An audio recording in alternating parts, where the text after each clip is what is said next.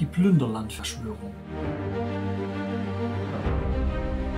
Ein satirisches Märchen von Ralf Brengel. Teil 1. Die Geschichte von der Plünderlandverschwörung oder wie man 1000 Milliarden Plünderos veruntreut. Es war einmal ein Land, das nannte man Plünderland. Plünderland war nicht das einzige Land auf der Welt. Andere mächtige Länder sahen, dass Plünderland immer größer und stärker wurde. Also führte man zwei große Kriege mit Plünderland. Plünderland verlor die Kriege und die Sieger teilten es unter sich auf. Danach gab es Plünderland Ost und Plünderland West. Im Plünderland Ost wurde die sozialistische Planwirtschaft eingeführt und im Plünderland West die kapitalistische Marktwirtschaft. Beide Systeme dienten auf ihre Art und Weise dazu, die Bevölkerung in einem ständigen Existenzkampf zu halten und langfristig durch Mangel gefügig zu machen. Damit sich die Systeme nicht vermischen konnten, ließen die Götter der Welt mitten im geteilten Plünderland eine Stahlwand errichten. Künftig war die gesamte alte Welt durch diesen Stahlwall in den sozialistischen Osten und den kapitalistischen Westen geteilt. In der sozialistischen Planwirtschaft gab es reichlich billiges Geld und zu wenig nutzbare Güter. Denn Geld wurde nach Belieben vom Staat geschöpft. Die Güter aber wurden nicht nachfrageorientiert, sondern nach einem schlecht funktionierenden Plan produziert. Dadurch gab es einen permanenten Mangel an Gütern. Im kapitalistischen Westen hingegen war es genau umgekehrt. Zwar wurde am Anfang genügend Geld zur Verfügung gestellt und dadurch konnte zunächst auch eine nachfragegerechte Produktion finanziert werden. Doch das privatisierte Kreditgeldschöpfungsmonopol erzeugte im Westen mit der Zeit ein anderes Problem. Durch die permanent steigenden Geldumlaufgebühren, den Zinsen und Zinseszinsen, entstand mit der Zeit eine immer größere Geldknappheit bei der breiten Bevölkerung. Beide Entwicklungen waren von den Göttern der Welt beabsichtigt. Langfristig war eine Zentralisierung aller Macht in der alten Welt geplant. Dazu musste man in den verschiedenen Ländern dieses Teiles der Welt eine einheitliche Währung einführen. Kein Land sollte mehr sein eigenes Geld erschaffen können. Im westlichen Plünderland regte sich ziemlich viel Widerstand gegen die Währungspläne der Götter. Schließlich war der Plündero West die stabilste Währung in der alten Welt. Andere Länder waren bis dahin weitaus unsolider bewirtschaftet worden und deshalb lag die Verschuldung in Plünderland deutlich niedriger als die anderer großer alte Weltstaaten.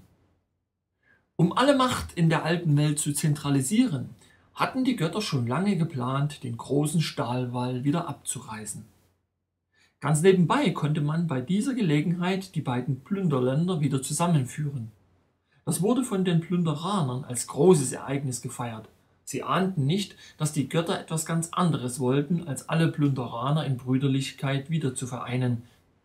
Neben der Zentralisierung aller Macht in der alten Welt war nämlich auch noch geplant, die Wiedervereinigung von Plünderland zum Anlass zu nehmen, seine Verschuldung drastisch anzuheben. Die Plünderaner sollten keinen Grund mehr sehen, ihren Widerstand gegen eine einheitliche, monopolisierte und privatisierte Kreditgeldwährung für die ganze alte Welt aufrechtzuerhalten. Um die Verschuldung von Plünderland auf die Augenhöhe der anderen Länder anzuheben, organisierten die Götter einen gigantischen Betrug. Wir nennen dieses einmalige historische Ereignis die Plünderlandverschwörung. Natürlich wird der eine oder andere von Ihnen sagen, das ist schon wieder eine dieser ewigen Verschwörungstheorien.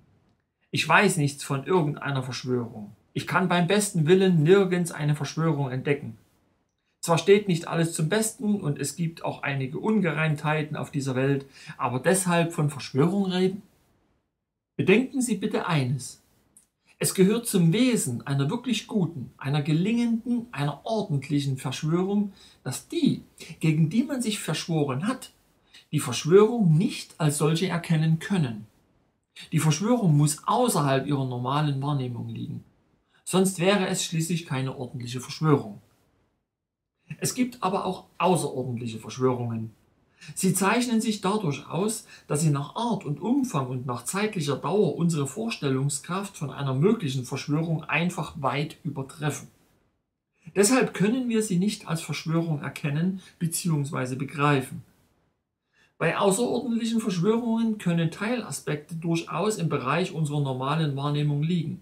Das nützt uns aber nichts, weil wir solche Teilaspekte nicht als Bestandteile dieser außerordentlichen Verschwörung identifizieren können. Es ist ganz ähnlich wie bei einem sehr großen Puzzle aus vielleicht 2000 Stücken. Sie sehen aber nur 10 oder 20 von diesen Stücken, die immerhin nahe zusammenzugehören scheinen. Sie erkennen, dass es sich bei diesem Teil des Puzzles wohl um einen Elefantenrüssel handeln muss. Sie ziehen natürlich den Schluss, dass das gesamte Bild einen ganzen Elefanten zeigen wird. Auf die Idee, dass das vollständige Puzzlebild eine große Elefantenherde darstellt, die auf der Flucht vor schwer bewaffneten Elfenbeinjägern ein ganzes Mäusevolk zertrampelt, wären sie vermutlich nie gekommen. Schließlich nimmt der Elefant, von dem sie anfangs nur den Rüssel erkannt haben, einen großen Teil des Bildes ein, weil er ganz vorne im Bild ist. Der Macher des Puzzles fand nämlich die Idee besonders witzig, die Elefantenherde auf den Bildbetrachter zurasen zu lassen. So hatten sie neben einer sehr geringen Bildinformation auch noch eine die Fantasie besonders einschränkende Perspektive. Warum habe ich Ihnen diesen Vergleich vorangestellt? Es geht mir darum, deutlich zu machen, dass Sie kaum eine Chance hatten, die Verschwörungspraxis, von der Sie heute erfahren werden, selbst zu entdecken. Es hat nichts mit Dummheit zu tun, dass Sie von diesen Vorgängen nichts mitbekommen haben. Es gibt keinen Grund, sich selbst in Frage zu stellen. Die Verschwörung war eben unvorstellbar groß und sehr perfekt inszeniert. Und die gutmütigen Plünderaner waren die arglosen Opfer. Hören wir uns also an, was der Verfasser der folgenden Geschichte zu sagen hat.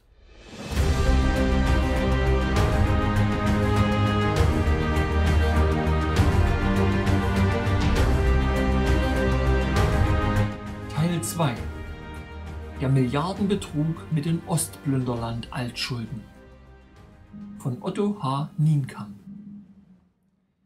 Heute, 17 Jahre nach dem Fall des Stählernen Walls, ist vor allem in wirtschaftlicher Hinsicht die Lage von Gesamtplünderland verfahrener denn je.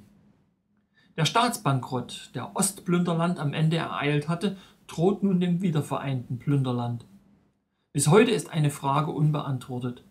Warum wurden die völlig illegitimen, aus dem Nichts entstandenen Ostplünderland Altschulden von 400 Milliarden Plünderos offiziell übernommen? Wer konnte diese Schulden, die vorher gar nicht existierten, als Forderungen verbuchen? Und vor allem wie? Auf welche Weise genau wurde dieser Mühlstein dem Plünderland um den Hals gehängt? Ein paar einleitende Worte zur Vergangenheit. Nach 2945 haben die Ostplünderaner nicht weniger fleißig und verbissen Wiederaufbau betrieben als die Westplünderaner. Die Leute hatten auch Wohnungen, kleideten sich, fuhren mit dem Auto über Straßen und auch bei ihnen kam Strom aus der Steckdose und Wasser aus dem Hahn. Das alles war nicht gering zu schätzen. Es war sogar im Einzugs- bzw. Einflussbereich des Westens zu damaliger Zeit nicht unbedingt der Weltstandard. Man denke dabei nur an die ausgeraubten Gebiete der sogenannten Hinterwelt. Was ist von dem Ostplünderland Volksvermögen, seinen Betrieben, seinen Immobilien, seinen Fluren, seinen Dörfern, seinen Städten, kurz seiner gesamten Infrastruktur geblieben? Das alles hatte doch schließlich einen Wert. Die beschämende Antwort lautete nach der Wiedervereinigung gut 400 Milliarden Plünderos, aber nicht etwa Guthaben. Nein, Schulden. Auf Anordnung der Regierung haben die Bürger von Plünderland zusätzlich zu den an sich exorbitant hohen Steuern hierfür mit einem Solidarbeitrag aufzukommen. Das kann doch nicht wahr sein, denkt der erstaunte Zeitgenosse und erinnert sich, dass die Ostplünderlandwirtschaft kurz vor dem Ende dieses Staates immerhin auf Platz 11 oder war es doch nur Platz 13 der Weltrangliste aller Industrienationen geführt wurde. Die Produktionsanlagen und das Volksvermögen, die dem Land immerhin einen Spitzenplatz an messbarer Leistungskraft garantierten, sollen nun weniger als nichts wert sein? Sie sollen sogar mit minus 400 Milliarden Westplünderos zu Buche schlagen? Früher war einmal die Rede davon gewesen, Ostplünderland sei mit allem drum und dran rund 600 Milliarden Westplünderos wert gewesen. Der normale plünderanische Fernsehzuschauer hat über solchen Widersinn nicht nachgedacht. Die Medien hatten ja auch schnell eine plausible Erklärung parat, die umso eingängiger war, als sie doch die Tüchtigkeit im Westen besonders unterstrich. Ostplünderland war wirtschaftlich eben nur ein Scherbenhaufen, und Scherben zu beseitigen kostet nun mal Geld. Im Allgemeinen glaubt der durchschnittliche Zeitgenosse immer, von denen da oben betrogen zu werden. In jenem konkreten Einzelfall hält er es aber für ausgeschlossen. Andere sind möglicherweise betroffen, er aber nicht.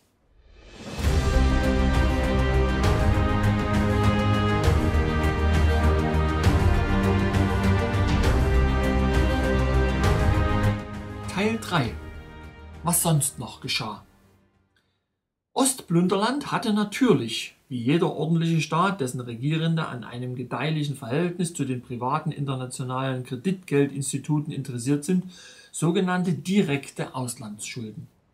Sie beliefen sich auf ca. 30 Milliarden Plünderos nach westlichem Maßstab und wurden von der nachfolgenden Regierung von Gesamtplünderland selbstverständlich übernommen Dagegen kann ein auf Recht und Anstand bedachter Bürger auch nichts einwenden. Diese Schulden sollen uns im Folgenden auch nicht weiter beschäftigen. Es geht vielmehr um die anderen Schulden, die man als alte Schulden bezeichnet hat. Das sind die Schulden der Staatsbetriebe, der Produktionsgesellschaften und der Kommunen des ehemaligen Ostplünderlandes. Dass es mit dem real existierenden Sozialismus bald zu Ende gehen würde, zeichnete sich bereits zehn Jahre vor dem endgültigen Aus für diese Organisationsform ab. Auf die Gründe wollen wir hier nicht näher eingehen. Sie sind sicher sehr vielfältig und die Verantwortung dafür tragen im Wesentlichen nicht die Bürger von Ostplünderland. Die Personen an der Spitze der dort regierenden Partei reagierten schnell und entschlossen auf die drohende Gefährdung ihrer Macht, ihrer Position und ihrer Versorgungslage. Sie ließen über Schala Kotkowski und seine Kotzko alles, was in Ostplünderland nicht nied- und nagelfest war, in den Westen schaffen. Das Volksvermögen wurde dort gegen harte westliche Devisen verscherbelt. Der Erlös wurde dann auf entsprechenden Konten bei westlichen Banken sachgerecht geparkt. Für die sozialistische Sache der Partei Oberen kamen nur Konten in Betracht, zu denen die Polizei des Klassenfeindes keinen Zugang hatte und deren eigentliche Inhaber gewöhnlich im Dunkeln blieben. Da auch die eingeschalteten Banken an solchen Geldeinlagen immer gut verdienen, bestand natürlich ein vitales Interesse an gegenseitiger Diskretion. Zu Westgeld gemacht wurden auch die Goldbestände aus dem Volksvermögen von Ostplünderland, Sie hatten damals immerhin einen Wert von 2,1 Milliarden Westplünderos. Allerdings schien das alles nicht auszureichen, die Existenzangst der von Arbeitslosigkeit bedrohten Politprominenz von Ostplünderland zu vertreiben. Deshalb wurden in den letzten Tagen des geteilten Plünderlandes, als man schon am runden Tisch die Übernahme durch Westplünderland verhandelte, hemmungslos Ostplünderos gedruckt. Diese wurden ohne Rücksicht auf das Kursgeschehen am Markt in westliche Devisen umgetauscht. Natürlich halfen die alten Freunde bei den privaten internationalen Großbanken dabei fleißig mit. Nur ein Schlingel denkt, dass die in erheblichem Maße angefallenen Provisionen die nötige Motivation generierten. Sicher ist allgemein bekannt, dass die Ostplünderlandwährung eine sogenannte nicht konvertierbare Währung war, das heißt, das Kursverhältnis zu konvertierbaren westlichen Währungen war lediglich ein fiktives, ein theoretisches Kursverhältnis. Dieser Kurs für den Ostplündero sackte in den letzten Monaten der Ostplünderland-Existenz ständig ab. Das fiel in der allgemeinen Wiedervereinigungseuphorie aber ebenso wenig auf wie die Auslandsadressen, an welche die neu gedruckten Banknoten des Ostplünderos zum Schluss postsäckeweise verfrachtet wurden Später fahndeten Spezialagenten auch im Ausland nach dem Parteivermögen der Regierungselite bzw. nach dem Volksvermögen von Ostplünderland. Wie gute Steuerprüfer fanden sie zwar auch einiges, das meiste aber eben nicht.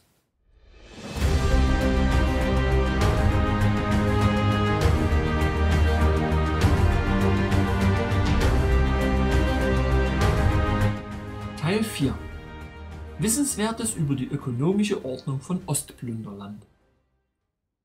Neben dem Schala Kotkowski, der sich im Wesentlichen mit der Außenwirtschaft befasste, waren in der Ostplünderland Zentralverwaltungswirtschaft auch unzählige Buchhalter tätig. Sie kümmerten sich um die Organisation der planwirtschaftlichen Finanzen. In ihrem System wurden nämlich alle Einnahmen einer Stadt oder Gemeinde an eine zentrale Stelle abgeführt und verbucht. Im Gegenzug erhielten die Städte und Gemeinden von dieser Zentrale Finanzzuweisungen. Dort wurden zu diesem Zweck für die Kommunen unter anderem drei Fonds geführt. Einer davon hatte den kommunalen Wohnungsbau zu finanzieren, der zweite gesellschaftliche Einrichtungen wie Kindergärten oder Schwimmbäder und der dritte finanzierte den Wohnungsbau der Großfirmen vor Ort. Wie viel Geld zu fließen hatte und wofür speziell, regelten ausgeklügelte Fondsbestimmungen von Ostplünderland, auf die wir hier nicht eingehen müssen, von denen wir aber annehmen dürfen, dass sie ebenso plündergründlich waren wie entsprechende Steuer- und Subventionsregelungen im Westen. Diese Finanzzuwendungen waren keine Kredite, Sie hatten vielmehr den Charakter eines Lastenausgleiches, auf den die Empfänger wegen ihrer vorher getätigten Einzahlungen einen rechtlichen Anspruch hatten. Umstände und Bedingungen, die heute im Einzelnen nicht mehr nachvollziehbar sind, führten mit der Zeit zu einer Veränderung der Buchungspraxis. Möglicherweise hatte es etwas mit der sich verschärfenden Bilanzschieflage des Ostplünderland Staatshaushaltes zu tun, dass die eigentlich als gesetzlicher Anspruch garantierten Fondszuteilungen zunächst als Quasi-Kredite und schließlich nur noch als Kredite gebucht wurden. Das fiel in der Routine der Bürokratie weiter nicht auf. Alles schaute nur auf die jeweilige Höhe der Auszahlung. Liquidität war das eigentliche Thema. Um sie wurde heftig gestritten, weil sie, wie in solchen Fällen üblich, immer zu gering ausfiel. Erst nach der auch offiziell erfolgten Vereinigung der beiden Plünderlandhälften wurden solche Buchhaltertricks offensichtlich. Die kommunalen Verwaltungen staunten nicht schlecht, Plötzlich forderten nämlich die privatisierten Nachfolger der ehemals sozialistischen Banken, über die diese angeblichen Kredite abgewickelt worden waren, die Schuldsalden von den Kommunen zurück. Damit nicht genug. Obendrein verlangten sie erhebliche Summen an Zinsen, zu den Ostplünderlandzeiten absolut unüblichen Zinssätzen. Von den vorher erfolgten Einzahlungen der Kommunen in die Fonds bei der Zentralverwaltung von Plünderland und dem daraus entstandenen Rechtsanspruch auf Rückzahlungen aus diesen Fonds an die Kommunen war nun keine Rede mehr. Die nunmehr privatisierten, ehemals sozialistischen Banken von Plünderland waren zwischenzeitlich mitsamt ihren Kreditforderungen in den Besitz internationaler Großbanken übergegangen. Diese forderten die Altkredite als ihr gutes Recht ein und die westlichen Regierungsbeamten, die nun die Ostplünderlandzentrale treuhändig leiteten, gaben ihnen Recht. Schließlich hatten sie ja auch die Privatisierung der sozialistischen Banken und deren Überleitung ins Eigentum internationaler Großbanken wohlwollend begleitet. Nur wenige Ostkommunen und Ostbetriebe sträubten sich gegen diese offensichtliche Form des Trickbetruges. Es kam zu Klagen und Gegenklagen und entsprechenden prozessualen Auseinandersetzungen. Um die ganze Angelegenheit aus dem Tagesgespräch, in das sie zwischen 2990 und 2995 geraten war, wieder herauszunehmen, entschied man sich, wie in Plünderland üblich, zu einer gütlichen Regelung abseits der Öffentlichkeit. Man musste um jeden Preis verhindern, dass der Bürger und Steuerzahler erfuhr, auf welch perfide Weise die ehemaligen Fondszahlungen an Betriebe und Kommunen zunächst zu zweifelhaften und dann zu richtigen Krediten geworden waren – die näheren Umstände, unter denen diese Privatisierung stattfand, sollten auf keinen Fall das Licht der Welt erblicken und dem gemeinen Volk zu Ohren kommen. Die Kommunen oder genauer gesagt die westlichen Fachleute, die deren kommunale Verwaltungen an ebenso westliche Verhältnisse heranzuführen hatten, erkannten im Rahmen eines Gentleman Agreements einen kleineren Teil dieser Schulden an, während die Plünderlandregierung den weitaus größten Teil, ohne besonderes Aufsehen zu erregen, über den Ausgleichsfonds dem Steuerzahler an den Hals hängte. Die Kommunen waren damit aus dem Gröbsten heraus und die Plünderlandregierung vermied einen möglichen Aufschrei der Öffentlichkeit wegen ihrer dubiosen Geschäfte mit den internationalen Banken. Auch von der Opposition war über diese Vorgänge nichts zu hören. Partei ist Partei und schließlich wollte es sich ja niemand mit den Geldinstituten verderben. Allen Protagonisten der Macht war geholfen. Über den Ausgang einzelner Prozesse, die einige Kommunen bereits mit entsprechenden Medienspektakel angeleiert hatten, erfuhr man aus den Gazetten später kaum noch etwas. Allenfalls erschienen hier und dort kleine Notizen am Rande, deren juristisch gedrechselte Ergüsse sowieso niemand so recht verstehen konnte. Und so entstanden gleichsam aus dem Nichts, nämlich aus Rückerstattungsansprüchen der ehemaligen Ostplünderland-Kommunen an deren Zentralverwaltung, private Kredite privater Banken. Mithin gut und gerne 65 Milliarden Westplünderos neuer sogenannter Altschulden waren es, die der plünderanische Steuerzahler solidarisch schultern durfte. Seltsamerweise hatte auch der Club der Steuerzahler erstaunlich wenig dagegen einzuwenden. 65 Milliarden sind aber noch keine 400 Milliarden. Oder sind es vielleicht sogar 600 Milliarden? Wie hoch der Turm dieser alten Schulden insgesamt nun wirklich war, scheint bis heute niemand genau zu wissen.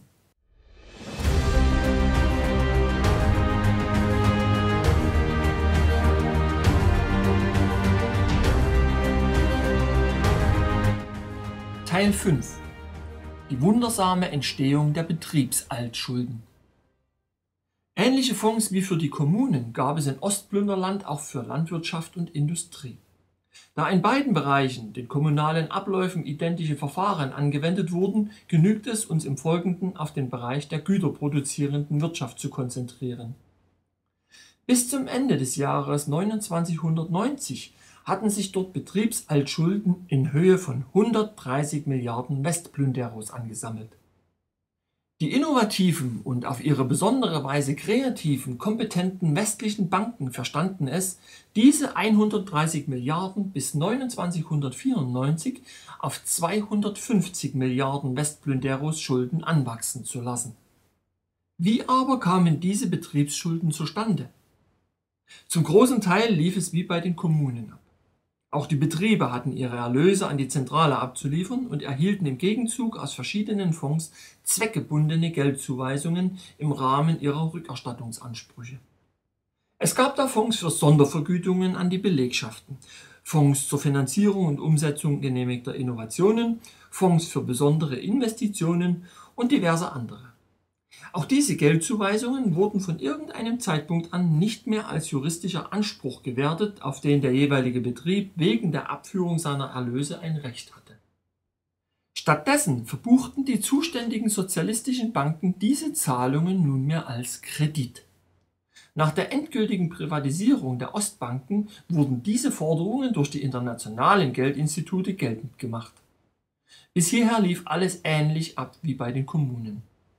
Die untreue Gesellschaft als abwickelnde Körperschaft sorgte für die nötige Diskretion.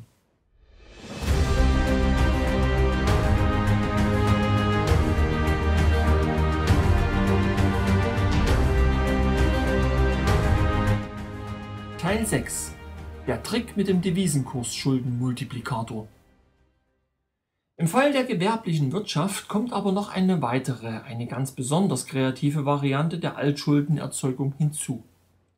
Um die schöpferische Fantasie der Schuldenerzeuger zu begreifen, muss man sich die Abwicklung von Investitionsentscheidungen im ehemaligen Ostplünderland genauer anschauen. Das relativ kleine Ostplünderland konnte nicht sämtliche produktionstechnischen Entwicklungen im eigenen Land zustande bringen um möglichst unabhängig zu bleiben, hatte man das lange Zeit, zu lange Zeit versucht. Dies führte zu Schwierigkeiten beim Einsatz von Hochtechnologie, was nahtlos in Versorgungsengpässe der Bevölkerung überging. Ursächliche strukturelle Probleme wurden als sogenannte Misswirtschaft des sozialistischen Ostplünderlandes fehlinterpretiert.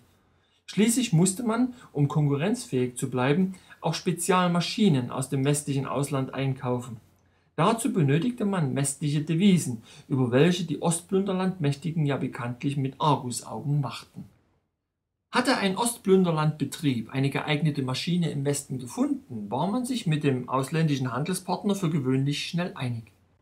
Weitaus schwieriger gestaltete sich da schon der Kampf mit den eigenen Behörden. Dann lief folgendes Spiel ab. Nehmen wir an, die einzukaufende Maschine kostete eine Million Westplünderos. Dies entsprach bis kurz vor Toresschluss Ostplünderlands ca. 4,8 Millionen Ostplünderos, die der investierende Betrieb aufbringen musste. Zusätzlich hatte er 30 Prozent der Kaufsumme an den Devisenbeschaffer von Ostplünderland, den Schala Kotkowski, zu entrichten. Daneben gab es einen Bevollmächtigten der Regierung, der die Zentrale in Handelsangelegenheiten vertrat und bei der Abwicklung der Geschäfte mal förderlich oder auch mal hinderlich war. In jedem Fall aber kassierte er für seinen unumgänglichen Einsatz eine Provision von 12 bis 14 Prozent der Investitionssumme. Aus den vorgenannten drei Positionen setzte sich der sogenannte Importaufwandpreis zusammen. Aber auch das Außenhandelsministerium von Ostplünderland, das den Vorgang endgültig zu genehmigen hatte, wollte im Hinblick auf den erheblichen Prüfungsaufwand nicht leer ausgehen und schlug weitere 12 Prozent auf den Importaufwandpreis auf. Unter der Voraussetzung, dass der Regierungsvertreter in diesem Beispiel nur 12 Prozent Provision der Nettoinvestitionssumme forderte, ergab sich demnach ein sogenannter Importabgabepreis von 7,6339 Millionen Ostplünderos. Schmiergelder, Vergünstigungen und andere Aufwendungen, die außerdem erforderlich waren, um die nötigen Unterschriften und Stempel auch wirklich und vor allem in der gewünschten Zeit zu bekommen, denn schließlich ist Zeit Geld und beim Geld sprechen Beamte ein Wörtchen mit, sind in diesem Beispiel noch nicht mitgerechnet. Die sich ergebende Kaufsumme musste natürlich finanziert werden. Das geschah in der Regel durch Kredit und Kredit war damals in Ostplünderland kein Thema. Kredit war ein Problem. Man bezahlte lediglich sozialistische 0,5% Zinsen.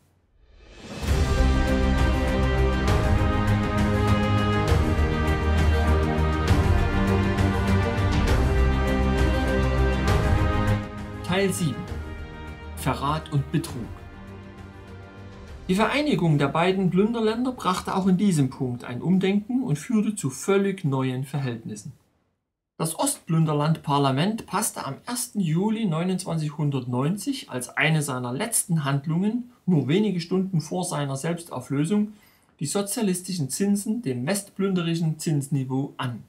Das lag damals bei ca. 10 Diese fatale Entscheidung musste der produzierenden Ostplünderlandwirtschaft in den Folgejahren zwangsläufig ruinösen Schaden zufügen Fragt man nach dem Grund dieser volkswirtschaftlich irrsinnigen und durch nichts erzwungenen Entscheidung, so ist der leicht gefunden, wenn man die Sache durch die Brille der Privatisierungsprofiteure betrachtet.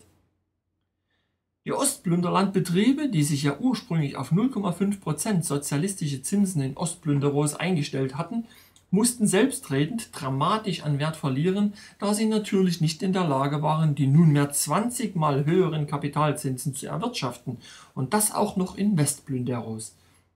Unter dem sich permanent verschärfenden Kapitalkostendruck gingen diese Betriebe rasch in Konkurs und waren sprichwörtlich für ein Butterbrot zu übernehmen in vielen Fällen legte die untreue Gesellschaft den politisch kompatiblen natürlichen oder juristischen Personen, die diese Firmen übernehmen wollten, erhebliche Geldbeträge dazu, um die Privatisierung möglichst kurzfristig abwickeln zu können. Schließlich übernahm der Steuerzahler ja gerne die Kosten. Das Ostplünderland-Parlament unter Lorenz Metzchenmacher entschied sich für die Zinsanpassung, sicherlich nicht ohne den Segen ihrer westlichen politischen Vorbilder, denen sie sich am Tag nach diesem Todesstoß für die produzierende Ostplünderlandwirtschaft angliedern wollte. Um auch hierbei kein Protestgeschrei aufkommen zu lassen, verpflichtete sich die nunmehr allein verantwortliche Regierung von Gesamtplünderland in einem Staatsvertrag für diese Kredite, die in den Büchern der 550 Ostplünderland-Geldinstitute standen, die Bürgschaft zu übernehmen. Das bedeutete nicht mehr und nicht weniger, als die vierteljährliche Zahlung der Zinsen an die forderungsberechtigten Banken. Da im Plünderlandhaushalt weder Geld für die sogenannten Altschulden noch für die darauf zu zahlenden Zinsen vorgesehen war, ließ man alle Beträge bei den Banken weiter anschreiben.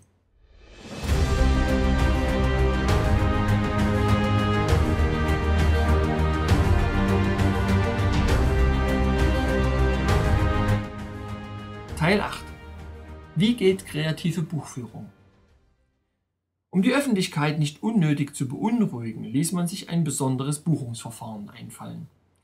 Der Sinn bestand darin, die sich schnell anhäufenden Zahlungsverpflichtungen im diskreten Dunkel des Vergessens auf der Zeitachse verschwinden zu lassen.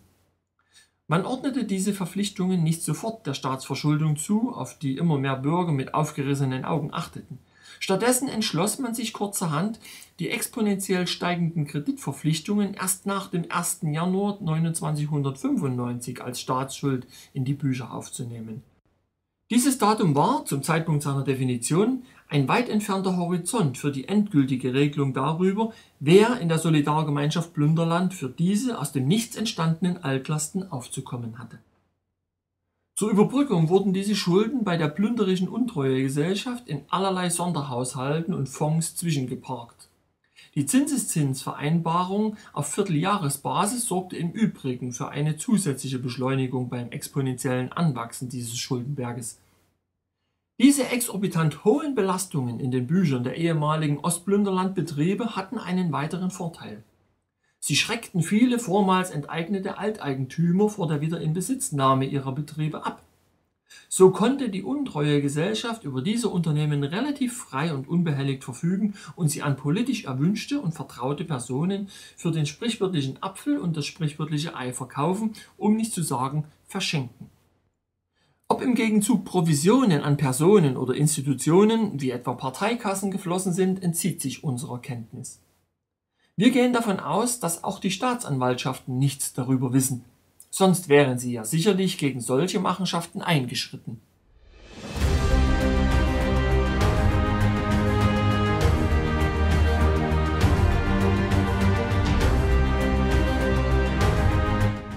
Teil 9 Der Weg in die Zwangsverschuldung Doch kehren wir zu unserem Ostplünderland-Beispielbetrieb zurück und stellen die alles entscheidende Frage. Was geschah mit seinen Schulden zwischen dem 1. Juli 2990 und, sagen wir, dem Tag der plünderianischen Einheit am 3. Oktober des gleichen Jahres?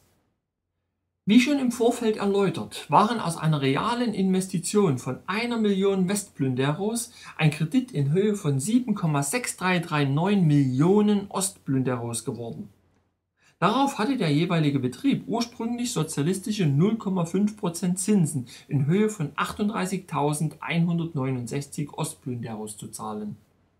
Dies entsprach zu jener Zeit einer Wertschöpfung von nur 7.951 Westplünderos.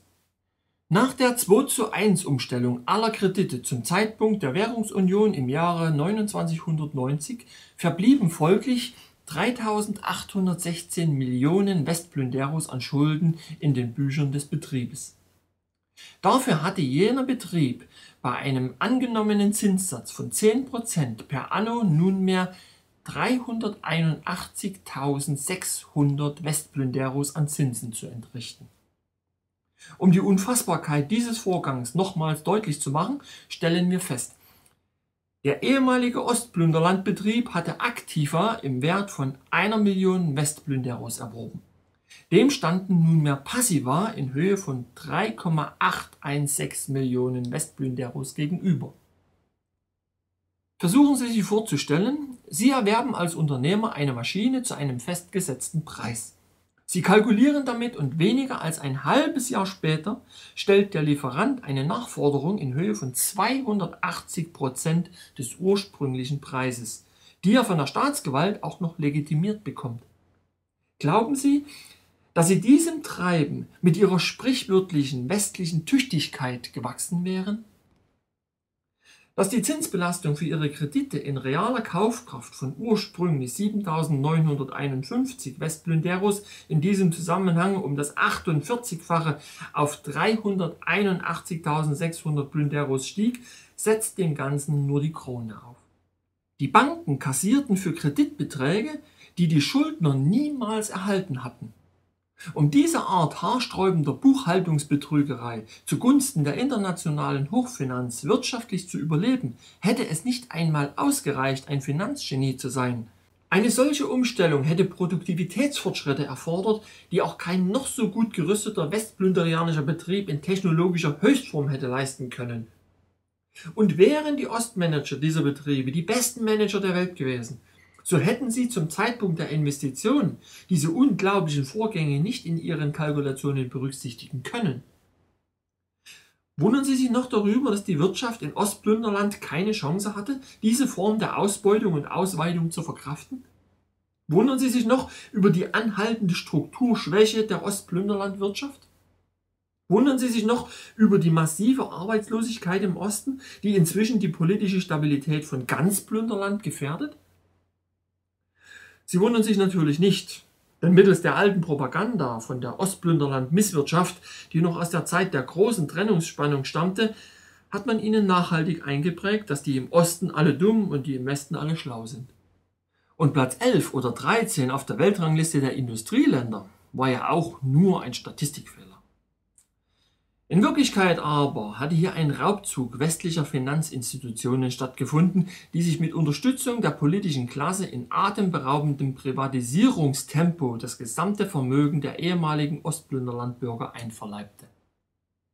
Es verdampfte wie Schnee auf einem geheizten Kanonenofen. Allerdings hatte man sichergestellt, dass die Öffentlichkeit das typische Zischen bei diesem Vorgang nicht vernahm. Dieses Zischen war unhörbar durch die wunderbare Diskretion, mit der Garantien, Zinsversprechungen und Buchhaltungsvereinbarungen bis zum 1. Januar 2995 durch die Plünderlandregierung und entsprechende Vertragspartner behandelt wurden. Gab es aber noch weitere Gründe für diese Art des lautlosen Agierens?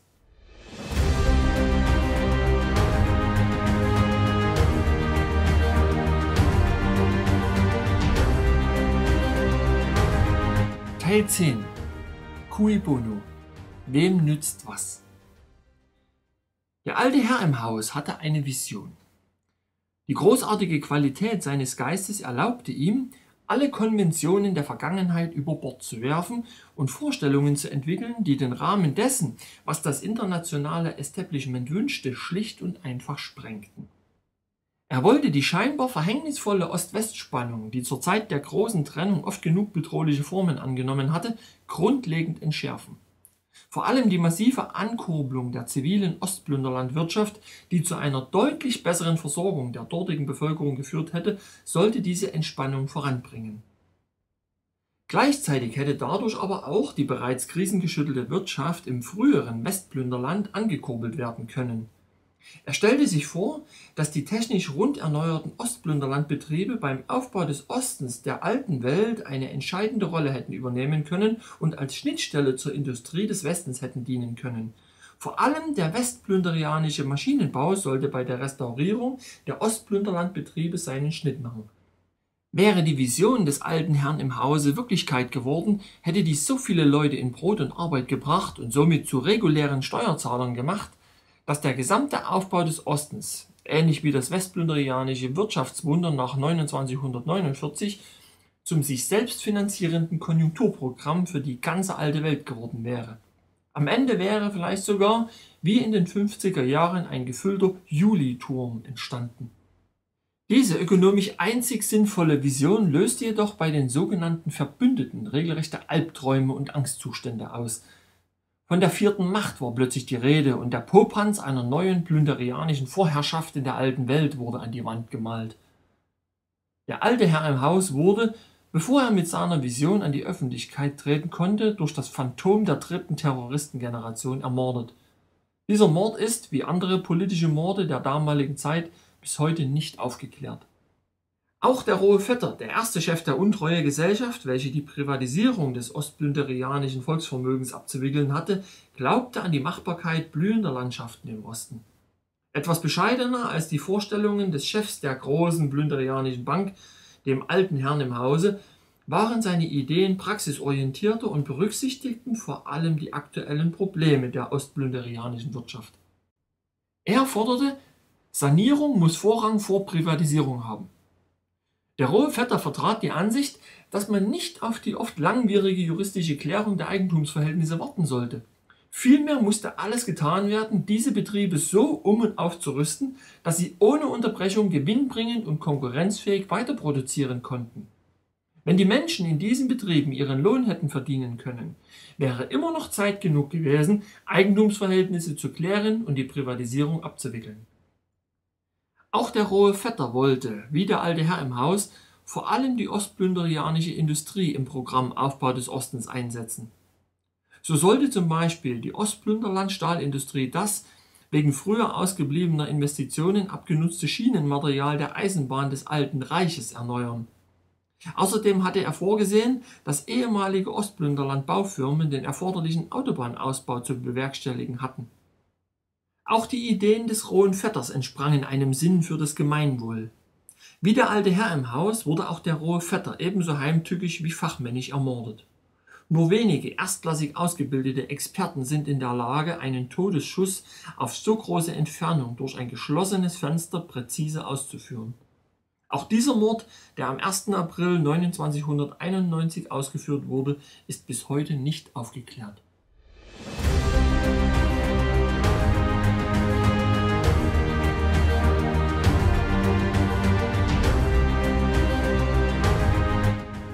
Teil 11 Eine neue Ära Zur Nachfolgerin des so plötzlich verstorbenen Chefs der Untreue Gesellschaft wurde Frau Grille-Greuel vom berühmt-berüchtigten Bankhaus Gerhard, Menschmeier und Stute berufen. Von eher zweifelhaftem Ruhm und berüchtigt deshalb, weil es genau dieses Bankhaus war, von dem am 4. Januar 2933 die Ausschaltung des Roten Generals und Reichskanzlers von Pirscher und die Machtergreifung des Schickelgrubers in Szene gesetzt worden waren – Später gehörten von Pirscher und seine Gemahlin übrigens zu den Mordopfern der sogenannten plunderianischen Bartholomäusnacht am 30. Juni 2934. Vor diesem historischen Hintergrund ist es daher für manchen Zeitgenossen mehr als verwunderlich, dass ausgerechnet jenes Bankhaus den recht einträglichen Beratervertrag zur Privatisierung ostdeutscher Betriebe von der Untreuegesellschaft erhielt das Bankhaus Gerhard, Menschmeier und Stute hatte, wie seine internationalen Kollegen, eine völlig andere Vorstellung von der Abwicklung der ostbünderianischen Wirtschaft als der alte Herr im Hause und der rohe Vetter. Vielmehr waren diese Vorstellungen das genaue Gegenteil der Visionen dieser beiden großen Männer. Allerdings war das Bankhaus Gerhard und Co. nach seiner politischen Aktivität von 2933 in das Eigentum des britischen Bankhauses Boyds übergegangen man kann mit Fug und Recht sagen, dass die teuren Ratschläge, denn solche Beratungen hatten für gewöhnlich einen nicht geringen Preis, direkt von der Bank Beutz an die Untreuegesellschaft gingen. So empfahl Beutz der Untreuegesellschaft, in deren Bilanz keine eindeutigen Posten zu unterscheiden, sondern Gegensätze möglichst zu vermischen. Nach der Ermordung des rohen Vetters änderte sich die Buchhaltungspraxis der Untreuegesellschaft deshalb nachhaltig. Investitionen zur technischen Sanierung der Betriebe und Zuwendungen an Käufer oder Altschuldner wurden nun nicht mehr getrennt aufgeführt. Stattdessen fasste man sie einfach unter dem neuen Posten Sanierung und Verlustausgleich zusammen. Dadurch fiel auch nicht weiter auf, dass von den 77,5 Milliarden Plünderos, die im Jahre 2991 unter dieser Bilanzposition ausgewiesen wurden, tatsächlich nur 5 Milliarden für technische Sanierungsinvestitionen aufgewandt worden waren. Und diese Investitionen erfolgten meist nur für den Umweltschutz und hatten mit der Modernisierung im Sinne der erforderlichen Produktivitätssteigerung nicht das geringste zu tun.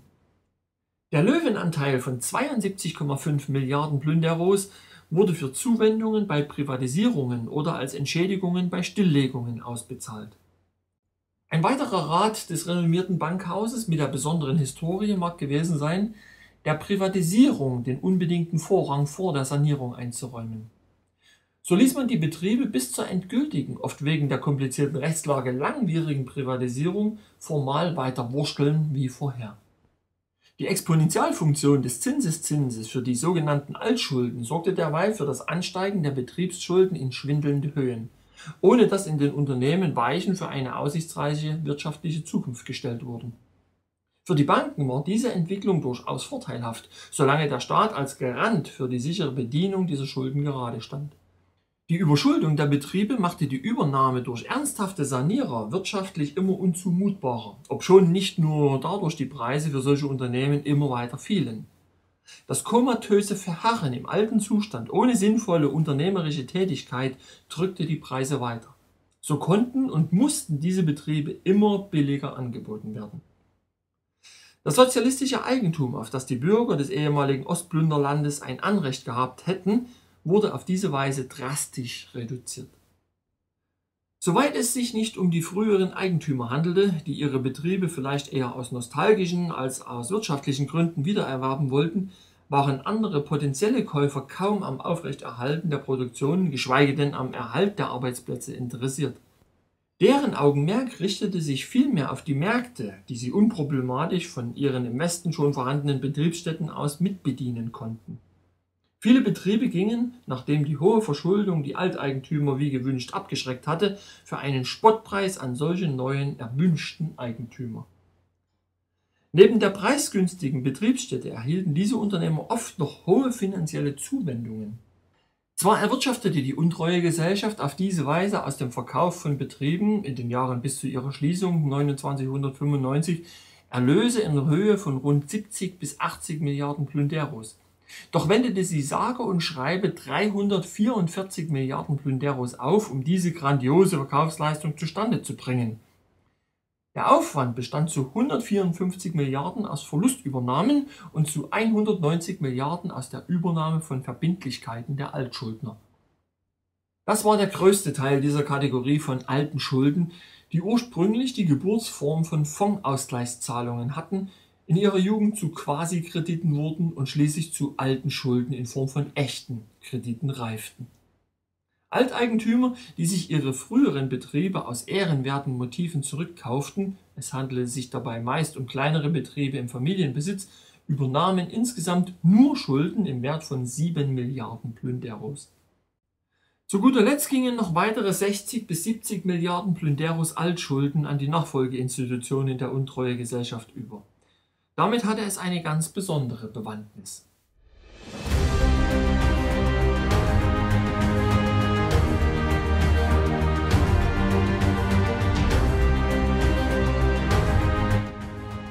Teil 12 Wie stiehlt man ein ganzes Land?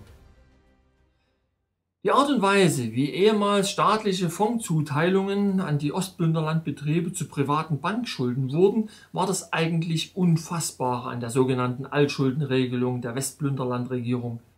Ein Geheimnis bleibt, aus welch unerfindlichen Gründen diese Vorgänge durch die Opposition gedeckt wurden. Auch die Medien taten das ihrige, um die wahren Vorgänge zu verdunkeln. So titelte die Gemeine Frankfurter Depesche am 17. Januar 2995, die von der Untreuegesellschaft abgelösten Altkredite sind echte Schulden. Der Verfasser des Artikels, Lutz Lübner, meinte, nach der Währungszusammenlegung haben nur die Schuldner und die Gläubiger gewechselt. So dumm, dass er den Unterschied zwischen sozialistischen Fondszahlungen und privaten Bankkrediten nicht kannte, kann ja unmöglich gewesen sein. Lutz Lübner beschränkte sich in seiner Beurteilung eben auf den kurzen Zeitraum von unmittelbar vor und unmittelbar nach der Selbstauflösung des Ostplünderland-Parlaments. Für diesen kurzen Zeitraum mag seine Aussage sogar einen gewissen Wahrheitsgehalt gehabt haben. Im Jahre 2995, dem Erscheinungstermin des besagten Artikels, diente sie natürlich nur zur propagandistischen Entlastung der politisch Verantwortlichen, denn die hatten eine solche Entlastung auch bitter nötig. Ein Gerichtsurteil vom 21. September 2995 aus der Burg der Mägde brachte etwas Klarheit in die Sache. Das Gericht verneinte, dass die plünderische Genossenbank Rechtsnachfolgerin der von ihr am 10. September 2990 erworbenen Bank für Land und Nahrung sei. Die Bank sei daher auch nicht berechtigt, die Kredite dieser Bank an die ehemaligen landwirtschaftlichen Produktionsgesellschaften einzufordern Geklagt hatten 20 LPGs, bei denen die PG-Bank versucht hatte, Zinsen für ein Kreditvolumen von 7,6 Milliarden Westplünderos einzutreiben. Das Gericht wollte sich nicht in eine politische Auseinandersetzung verwickeln lassen und beschränkte sich in der Urteilsbegründung auf Unstimmigkeiten bei den Unterschriften des Kaufvertrags. Insbesondere vermisste es die Unterschrift und das Amtssiegel des ehemaligen Finanzministers von Ostplünderland dass es bei der Übernahme der ehemaligen Ostbanken etwas hastig und möglicherweise schlampig zugegangen sein mag, ist nicht von der Hand zu weisen, liegt aber in der Natur dieses wahrhaft außerordentlichen Geschäftes. Die Feinheiten der juristischen Auseinandersetzung sind für uns nicht relevant. Vielmehr interessiert uns, wie gewinnbringend das Geschäft mit der Übernahme der ehemaligen Ostbanken für die westlichen internationalen Geldinstitute wirklich war. Die PG Bank beispielsweise hatte besagte Landwirtschaftsbank für ganze 106 Millionen Plünderos von der Untreuegesellschaft gekauft. Dabei mag es der untreue Gesellschaft entgangen sein, dass die Bank für Land und Nahrung zu diesem Zeitpunkt bereits über eine Barschaft von 250 Millionen Plünderos in ihren Kassen verfügte, mithin mehr als das Doppelte des von der PG Bank bezahlten Kaufpreises. Die PG Bank konnte die Übernahme dieses Geldinstituts also locker aus dessen eigenen Barbeständen finanzieren. Für die PG Bank war das natürlich ein außerordentlich lukratives Geschäft, ein Geschenk des Himmels sozusagen. Aber das war nicht alles. Diese ehemalige Ostplünderlandbank verfügte auch noch über zahlreiche Liegenschaften, das heißt Grundstücke und Häuser mit entsprechenden Filialräumen, die über das ganze Ostplünderland in den landwirtschaftlichen Zonen verstreut lagen. Diese Liegenschaften gab es gratis dazu. Damit wurde das Geschäft für die PG Bank immer besser. Glauben Sie, lieber Zuhörer, dass solche Geschenke wirklich vom Himmel fallen? Das Beste, das absolute Sahnehäubchen für die PG Bank waren aber nicht solch lächerliche Peanuts im dreistelligen Millionenbereich. Wir erinnern uns, in jenem Burg der Mägde Prozess ging es um Forderungen von insgesamt 7,6 Milliarden Plünderos. Hatte die PG Bank diese etwa auch noch für ihre Investition von 106 Millionen bekommen, die ja schließlich aus der Portokasse der ehemaligen Ostplünderlandbank bezahlt worden waren? Sie hatte. Und noch viel, viel mehr. Insgesamt waren nämlich Forderungen im Wert von über 15 Milliarden Plünderos erworben worden. Bei den 7,6 Milliarden handelt es sich ja lediglich um die Schulden der 20 klageführenden landwirtschaftlichen Produktionsgesellschaften. Nun mochte ein westplünderianischer Bürger, der an die Redlichkeit seiner Regierung glaubte, einwenden, diese 15 Milliarden Plünderos können wir getrost vergessen, denn sie sind bei der desaströsen Misswirtschaft des ehemaligen Ostplünderlandes sowieso nicht einzutreiben. Hier irrte er gewaltig. Bis zu diesem Zeitpunkt, also in nur knapp einem Monat hatte die PG Bank bereits sage und schreibe 600 Millionen Plünderos an Zinsforderungen eingetrieben. Erst danach setzte das Gericht diesem unglaublichen Treiben ein vorläufiges Ende. Nun hätte man darüber entrüstet sein können, dass eine Regierungsbehörde Staatseigentum in Form von Kassenbeständen einer ehemaligen Ostplünderlandbank mit einem Wert von 250 Millionen Plünderos Zinsforderungen in Höhe von 600 Millionen Plünderos und die kaum richtig zu bewertenden Liegenschaften in erheblichem Umfang zu einem lächerlichen Preis von 106 Millionen Plünderos an ein privates Geldinstitut verschleuderte, wenn das schon alles gewesen wäre. Als Tüpfelchen auf dem i hatte die Plünderlandregierung über ihren institutionellen Zwischenhändler, die Untreue Gesellschaft, diese Schulden zu anerkannten und damit zu gesetzlich abgesicherten Werten gemacht, die beim staatlich verwalteten Fonds für geerbte Altlasten mit größerer Gewissheit als beim zivilen Gericht in der Burg der Mägde einklagbar waren. Diese Forderungen waren für die PG Bank genauso sicher wie Plünderland Schatzbriefe. Für die steht nämlich damals wie heute der Steuerzahler gerade. Was da vor dem Burg der Mägdegericht aktenkundig wurde, war also eines der ganz außerordentlich guten Geschäfte, die Banken wie die PG Bank auf Kosten der Steuerzahler machen durften. Damit auch der mit so großen Zahlen wenig vertraute Zuhörer den Charakter dieser Geschäfte überblicken kann, stelle er sich Folgendes vor. Nehmen wir an, er kaufte bei einem ehrenwerten Kaufmann eine Geldbörse, die diesem Kaufmann aber in Wirklichkeit gar nicht gehörte, die er nur treuhänderisch aufzubewahren hatte. Dieser ehrenwerte Verkäufer verlangte nur einen Taler und sechs Pfennige als Preis, obschon in dieser Geldbörse bereits zwei Taler und 50 Pfennige in Bar und zusätzlich noch ein Scheck über 15.000 Taler steckten. Der Scheck aber trug auch noch als Indossament die Bürgschaftsanerkennung seiner Regierung, Zweifellos würde sich der Käufer über ein solches Geschäft freuen. Doch würde er den Kaufmann oder in diesem Fall die Kauffrau, die untreue Gesellschaft, deshalb auch wirklich für eine ehrenwerte Person halten? Und wie angenehm fände der wirkliche Eigentümer der Geldbörse die ganze Angelegenheit? Natürlich waren solche Geschäfte nicht für den einfachen plünderianischen Bürger gedacht. So feine Sachen waren nur für international operierende Bankhäuser zu machen. Was halten Sie als Steuern zahlender Bürger eigentlich von so viel untreuhändigem Verantwortungsbewusstsein der Regierung für das Gemeinwohl? Doch die größte Unverfrorenheit kommt erst noch. Sie werden es nicht glauben. Auch mit diesem geradezu pervers guten Geschäft zu Lasten der Allgemeinheit gab sich die Bank noch nicht zufrieden. Sie ließ sich für den Aufwand, der ihr mit der Abwicklung dieses Geschäftes zugemutet worden war, durch einige weitere Millionen Plünderos entschädigen. Die plünderische Genossenbank war natürlich nicht die einzige Nutznießerin solch ehrenwerter Geschäfte der untreue Gesellschaft.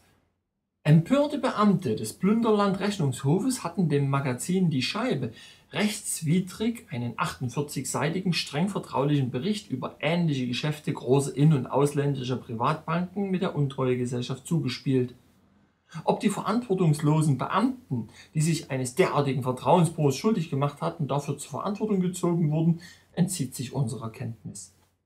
Das öffentliche Ärgernis wurde allerdings nicht allzu groß, weil der größte Teil dieses 48-seitigen Dossiers der Öffentlichkeit verborgen blieb. Die Scheibe verriet in ihrer Ausgabe vom 27. September 1995 lediglich wenige uninteressante Details, die wir hier kurz zusammenfassen.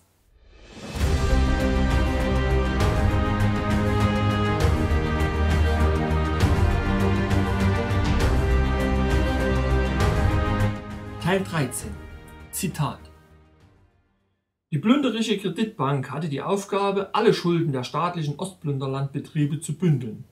Sie kaufte Schuldscheine im Wert von 80 Milliarden Plünderos auf, und zwar so, wie sie in den Büchern standen. Dabei hatte sie nicht zu berücksichtigen, auf welch zweifelhafte Weise sie dort hineingeraten waren.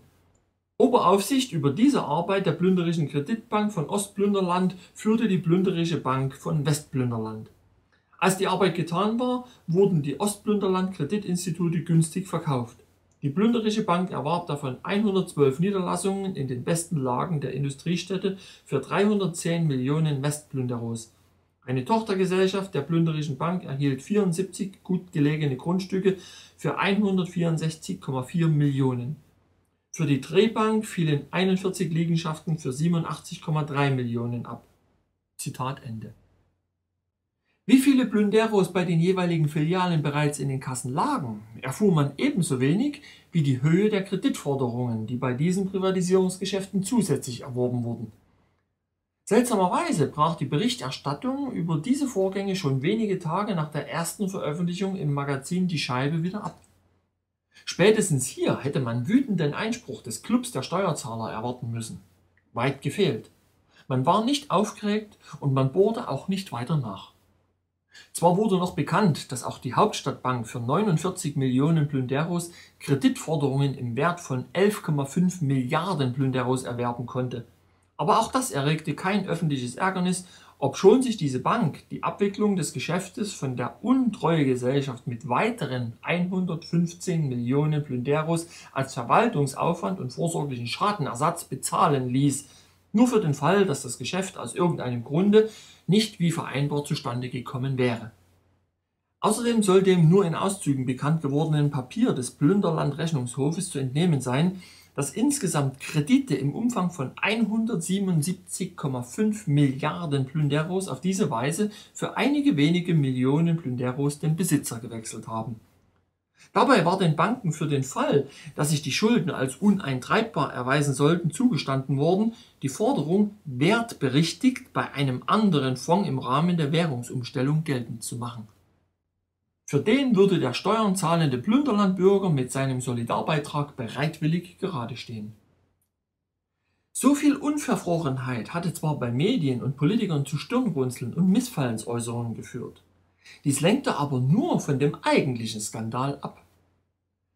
Internationalen Banken war zugestanden worden, für wenige Millionen Plünderos mehrere Milliarden Plünderos Kreditforderungen zu kaufen, für die der Steuerzahler aufzukommen hatte. Doch hielt sich die Aufregung über das dreiste Agieren der Banken in engen Grenzen nach wenigen Wochen redete keine Zeitung und kein Fernsehen mehr davon und so vergaßen es auch die zahlungsbereiten Plünderlandbürger. Dabei hätte die ganze Angelegenheit doch das Zeug zu einem echten Skandal mit gehöriger Empörung gehabt. Aber es ist eben nicht wahr, dass die Medien von empörenden Neuigkeiten leben. Die Empörung muss schließlich auch in die richtige Richtung zielen, um mediengerecht zu sein. Um einer Revision dieser Schuldenregelung auf jeden Fall vorzubeugen, hatte die untreue Gesellschaft schon im Jahre 2993, vermutlich wiederum auf Anraten ihrer teuren Berater wie dem angesehenen Bankhaus Beutz, damit begonnen, die Schulden der Ostplünderlandbetriebe, die eigentlich gar keine richtigen Schulden waren, in echte Kredite umzuwandeln. Das bewerkstelligte man dadurch, dass man sie durch Refinanzierung monetisierte. Das heißt, die untreue Gesellschaft verkaufte Anleihen und Obligationen und bezahlte einen großen Teil der Kreditforderungen der internationalen Institute mit den dadurch erlösten Beträgen. Nachgewiesen sind 105 Milliarden Plünderos, die an die Banken überwiesen wurden. Auf diese Art und Weise verschwanden die alten Schulden und die neuen Wertpapiere wurden zu unumkehrbaren Zahlungsforderungen an Staat und Steuerzahler. Das Geld zahlte die untreue Gesellschaft an die plünderische Kreditbank. Die Bank gehörte zwar der untreue Gesellschaft, arbeitete aber in der Obhut der plünderischen Bank, in deren Eigentum sie später auch überging. Damit stellte sich die Frage, die eigentlich auch den Staatsanwalt hätte beschäftigen müssen, was hatte die plünderische Bank mit dem Geld der plünderischen Kreditbank gemacht?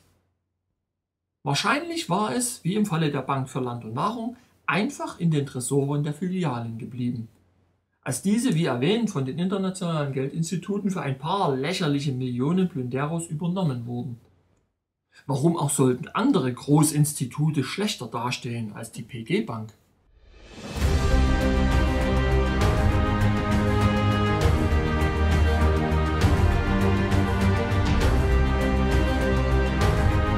Teil 14 Resümee und Epilog Lassen wir unseren Berichterstatter Otto H. Nienkamp hier enden und fassen kurz zusammen, was geschehen war.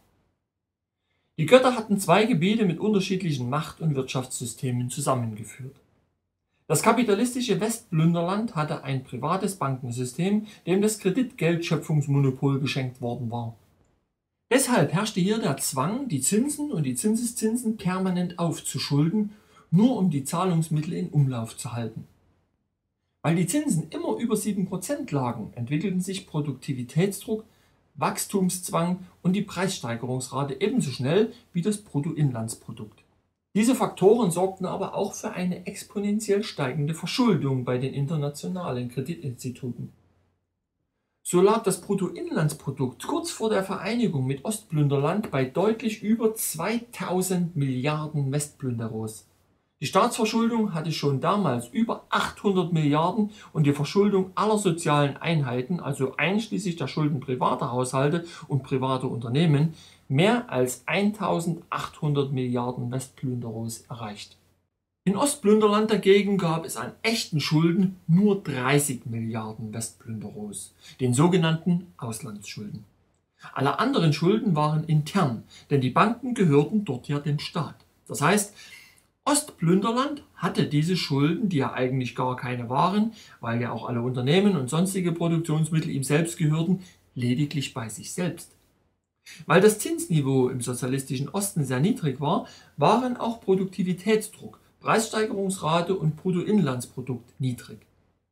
Das absolute Preisniveau für Verbrauchsgüter des täglichen Bedarfs lag weit unter dem im Westen.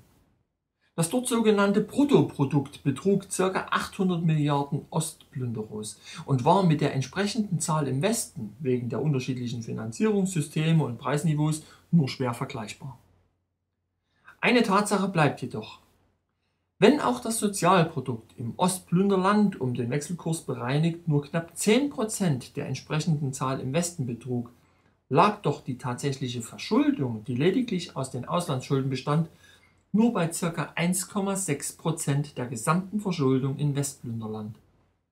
Wer rechnen kann, versteht, dass Plünderland bei der Vereinigung eigentlich hätte reicher werden müssen. Selbst die 1 zu 1 Umstellung der Ersparnisse des kleinen Mannes hätte daran nur wenig geändert. Dieses Umtauschverhältnis diente letztlich auch nur der Täuschung.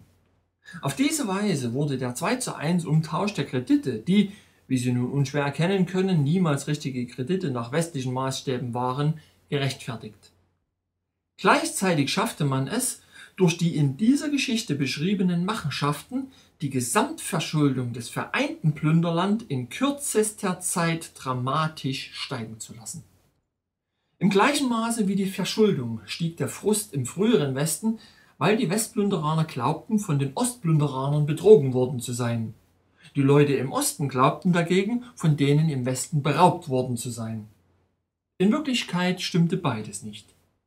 Zwar waren die einen betrogen und die anderen beraubt worden, doch ganz andere Wesen waren die Räuber und Betrüger, als die Plünderaner hüben wie drüben vermuteten. Es waren die Götter, die mit Hilfe ihrer Handlanger den Brüdern im Geiste diesen genialen Coup durchgezogen hatten. Mit dem Frust über die nun aus dem Ruder laufenden Staatsschulden stieg auch die Bereitschaft, die Abschaffung der eigenen Währung hinzunehmen. Die Götter hatten ein wichtiges Ziel erreicht. Aber auch diese Geschichte ist nur ein kleiner Teil einer noch viel größeren Geschichte.